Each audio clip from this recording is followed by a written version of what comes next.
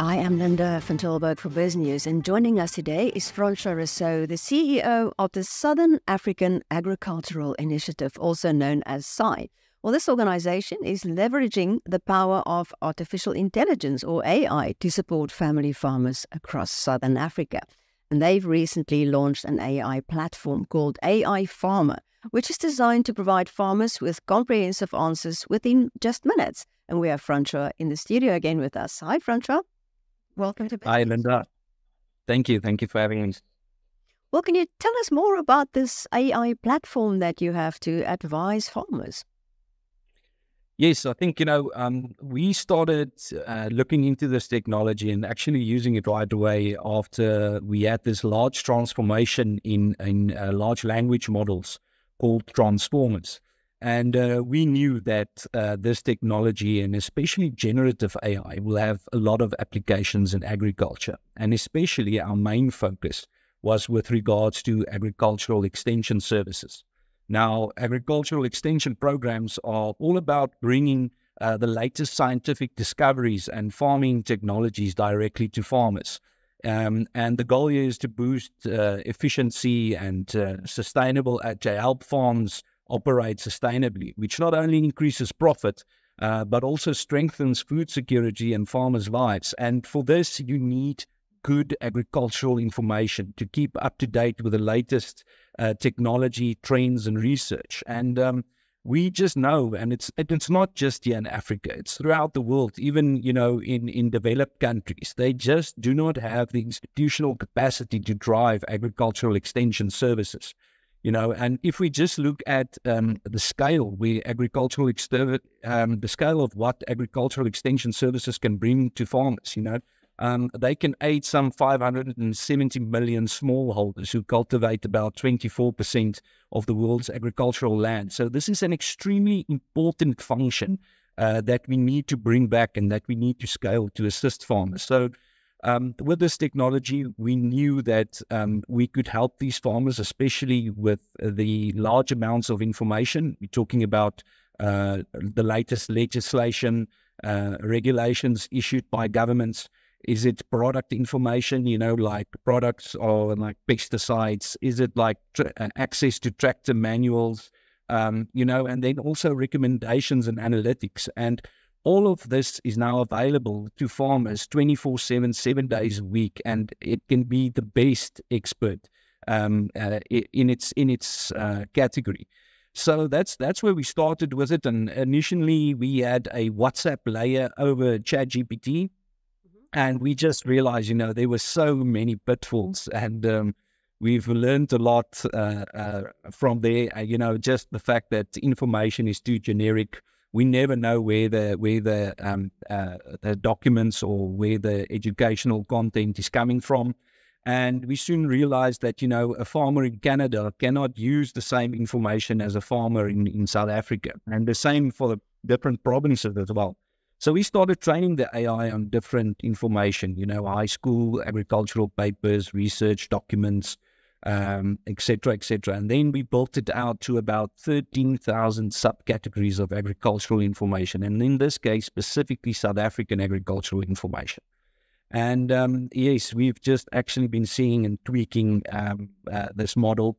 You know, I think there's a couple of things that make this uh, this agricultural extension services model different, but also the technology that it is based on. We have partnered with a local company called uh, VectorMind. They're South African based, uh, and all of the programmers are from South Africa as well. But what makes this so different is you've got your own document management platform.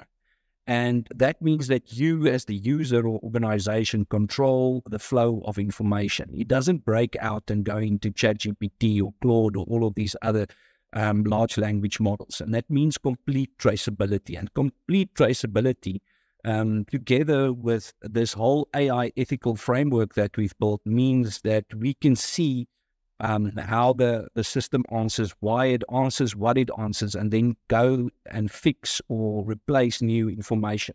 So this document management platform is a huge win for us, and it also gives us great insights. And um, yeah, it it it um, currently, you know, it's available on on the App Store, both on on iPhone and on um, the Play uh, on uh, Google's Play Store.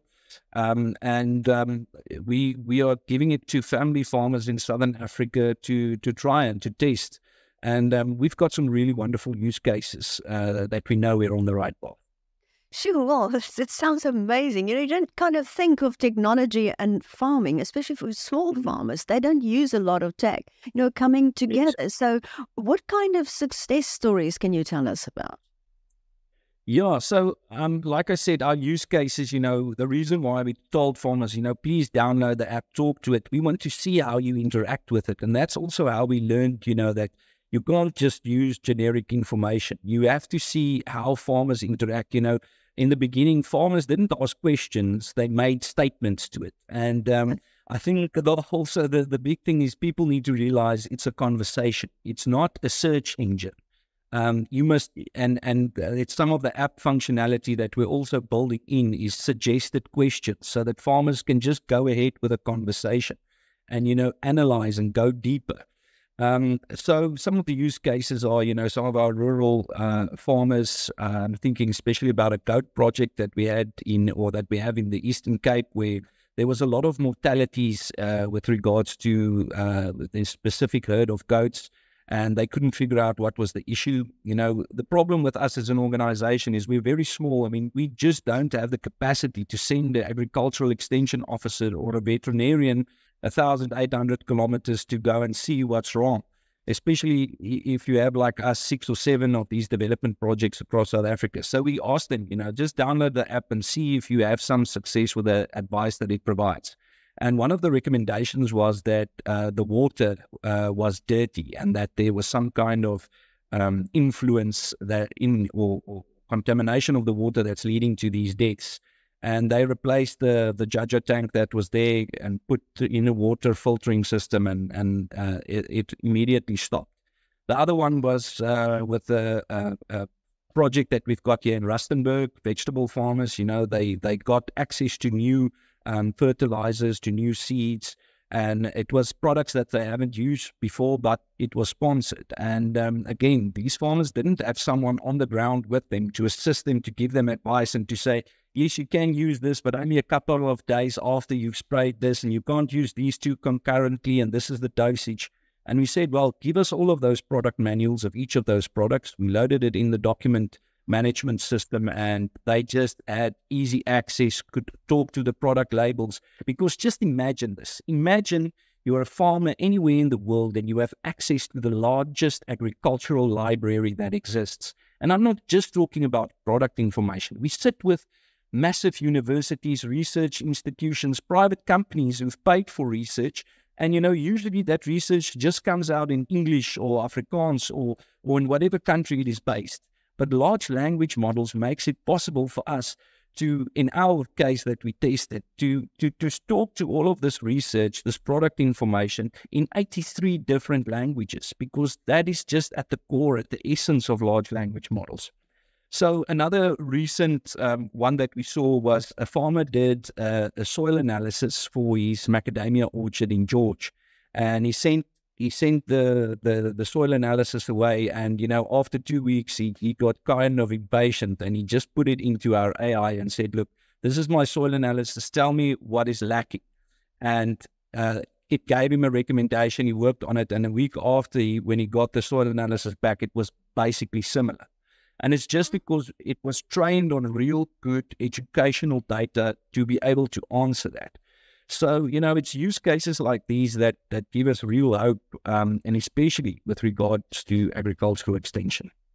So, so what do farmers say to you after they've used that? Are they really keen on continuing, you know, this journey with AI? Yeah, I, I, I think, um, you know, these there's some disbelief as well because you know although we marketed it as a as a agricultural extension product in South Africa, our farmers are very reliant on on what what the legislation and the regulations say. So you know from the start, yes, we've got this um, AI agricultural neural network that is built over the AI and and this thirteen thousand subdivisions that makes it a real agricultural expert. But I also plugged in a, a large legal component you know, uh, with every piece of agricultural legislation and especially um, criminal law, etc. So I think, you know, farmers just need to trust what the technology can do because you can see the conversation going and you can see them engaging with it. Um, but I think, you know, there's still a bit of disbelief about what is on the other side. Um, and actually, because it's a, you know, uh, because it's a, an AI, and because it's it's driven by the information that it was fed and not what it scoured from the internet, it makes it actually more uh, plausible than any um, other person that you would get, you know, normal person that you would get information from or a Google search because um, we really try to segment uh, these different sectors. So yeah, I think um, user user reliability, you know, um, they they must feel comfortable with it. But I also think also think we've got a huge role to play in in user education, in prompting, how they speak to the AI, how they need to understand how to talk and how to prompt an AI to get the the the, the answers that they need. So, uh, what's the uptake been like in terms of n- numbers? You know, because um, you've been going, what was it, since February last year? Yes. Yeah, we, we recently relaunched. Um, like I said, we've been going through a lot of iterations. Um, we only launched the latest platform and, and made it really accessible to anyone, any family farmer. And um, we've we've just ticked past about four and a half thousand consistent users. The reason why we haven't um, uh, really launched in the past was just because of stickiness. It's important that when someone goes on the app, they come back and they come back again and use it. So um, we've got a lot of functionality that we need to add to the system, but we are at a place now where we believe that the information that is within AI Farmer, the South African platform, is robust enough to answer any question.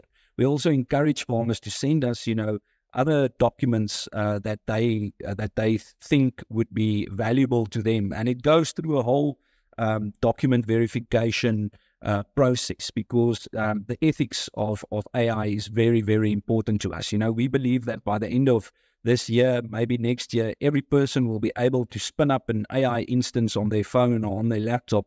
But the value comes from the information. If the information is not verified, is not ethical, and if you cannot trace that information to a to a credible source, then it doesn't mean. So credibility is is extremely important to us. So that's why we've taken a bit a, a while to to to roll out AI Farmer to where it is. And um, we've got a lot of wonderful functions that we will be adding, like um, a market market prices for all the different types of uh, agricultural subsectors in South Africa. We've already got the weather function live. Um, we're adding voice activation. You will be able to get uh, photo and video analysis uh, early next year. So I, I think you know um, we've we've waited, but we need to drive stickiness uh, to ensure that farmers trust and feel safe with the product. You talked about that is uh, it is available in so many languages. Is it available in the eleven languages of South Africa? Yes, yes. I must tell you, um, in the languages that we've tested, I did a demonstration in Malawi recently, and the lady came up on stage and asked it in Chichewa, gave it the perfect answer. Uh, while we were demoing in Germany, we had a, uh, a, question in Hebrew, although, I cannot tell you whether it was correct. The person that asked said, you know, it looks it looks correct to him. So I just think, you know, again, it comes uh, back to trust, and and in order to trust it, you need to understand what large language models can do. I think um, another thing that we're trying to to convey to to uh, the farmers is that we've really spent a lot of time trying to eliminate stuff like hallucinations within the large language model, trying to stop uh, drifting of the data. Um, you know, it's something that we check for every morning. It's a built-in uh, check question and answer that the AI goes through every morning because um, we we cannot afford to have problems like that in our system. Is there anything else you would like to tell us about this um, system and platform?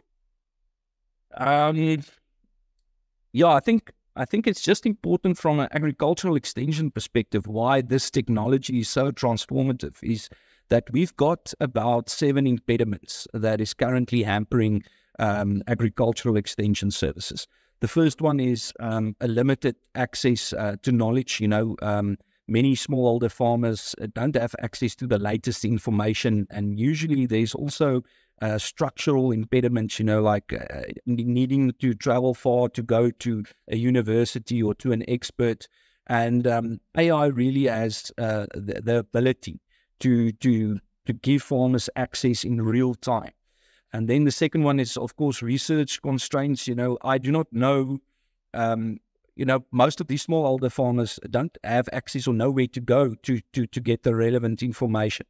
Um, but now eh, with AI, you've got an institution that's that's putting its name behind um, the the information that they populate uh, within the um, in the AI. So it's not all necessary to to go and attend a training session on a specific topic where you know the instance was trained on that. And you know, I, I, I just don't know about farmers who are able to farm during the day and go and do research at night to mm-hmm. to answer the questions that they have or to go through different research documents and try and address a specific issue that they are trying to answer. And again, this is what makes AI so powerful. You pose your problem to the library of information and it goes through that library and it answers your question. It doesn't uh, mm-hmm. put something in the abstract for you to go and try and decipher you as a farmer who's not an expert in that in in in, in that uh, uh, topic. So that that's what makes it so extremely powerful, you know. And then, like I said previously, institutional capacity. Um, most of our governments and most around the world just don't have the the capacity to to fund and to keep agricultural extension officers um, uh, to, to get them to where they need to be in the deep rural areas and get there consistently and follow that farmer and to build a relationship with him.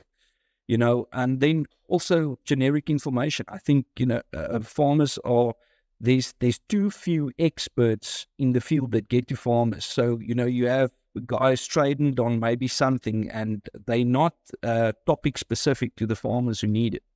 Um, you know, and also from a from a, a government perspective, um, monitoring uh, and and the supervision of these extension officers are, are always the issue. And then the last one, of course, is is accessibility issues. Some farmers get preference over other farmers. You know, it will always be the bigger farmers that gain more because um, uh, that's who the extension agents or the companies would think are are most relevant. So um, yeah, these are just some of the stuff that we are trying to address in the agricultural extension space, and that we believe that AI has a real use case for. It's it's it's nice to have this technology, but if you can't apply it to a specific problem, um, it's not going to be sustainable.